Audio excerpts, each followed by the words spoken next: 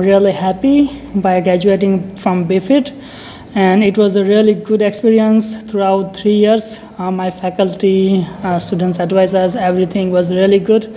But uh, I, I, would like to say the last pandemic year it was hard, but BFIT and everyone here make it easy for us through Zoom classes. And so I would like to say thank you to my professors, uh, Professor Lisa uh, Christensen, then Professor Sonic, Professor Zed, everyone, everyone who there help us and help me to get through this pandemic. And I would like to say thank you so much for everything.